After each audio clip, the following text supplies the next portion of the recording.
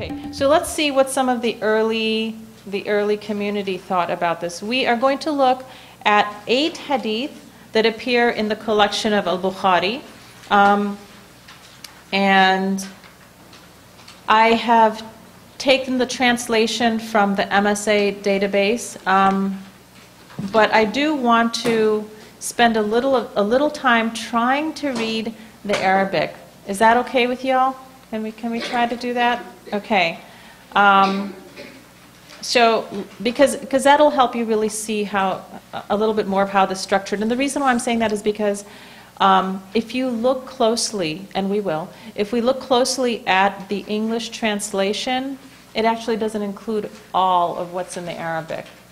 Um, most notably, the English translation that you find uh, in the database, and not only here, but also, like, for example, there's a very common um, translation of Bukhari by al-Matraji. Has any, does anybody know that one? It comes in like three volumes, three, three, three um, volumes in each book, and then it comes in three books. Okay, that one doesn't include the translations of the chapter headings. And the chapter headings are really important. Why are the chapter headings important? Because Bukhari was writing a musannaf, a musannaf is a legal collection of hadith. Okay? It's organized by legal topic. And that means that he is not just jumbling all the hadith together. He's not saying, let's find all the hadith about this khayt al abiyad and khayt al aswad and we'll stick them all together. He is actually um, forwarding very carefully an argument.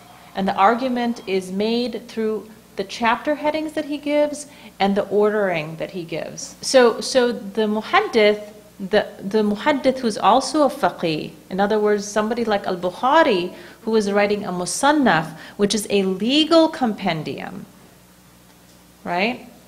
Like Ibn Hanbal, his, his, um, his, his collection was not a legal collection. His is entirely arranged differently. It's arranged by narrator. Right? But Bukhari is a legal collector.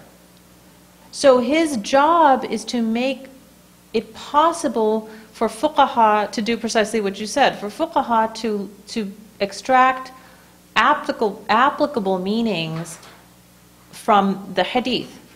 So sometimes there are hadith that don't actually, that are not considered applicable by the fuqaha right? There are things that, sah- that some of the Sahaba did that the later fuqaha don't consider to be uh, valid for practice.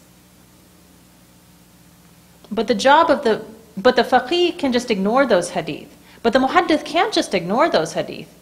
He has to include them if they're, if they're sound. He has to include them.